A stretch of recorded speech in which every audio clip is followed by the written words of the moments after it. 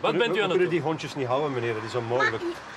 Dus Je hebt het geloofd Nee, en nu wilde jij die dood doen, zo in die kou. Dood doen! Arne, nee, dat, dat is... Dat is die Jawel, hondjes... Die, moordenaar. die, Die hondjes gaan dood, de Wel, jij papa. gaat die dood die voelen daar niks van, Arne. Dat is wel wij- waar, Wij kunnen er niet voor zorgen, jongen. dood. We hebben geen mama meer. Jawel, dat beseft je kan toch wel? Dat beseft je toch wel? Eh, kom, kom, kom. Moordenaar, jij gaat die Arne, dood straks, we zullen er straks... Arne, Arne, we zullen er straks over praten, jongen. jij hè? gaat die We zullen er dood straks over praten, jongen. Oké, hou de mond, kom. U ziet het, een alleenstaande vader is niet gemakkelijk, hè?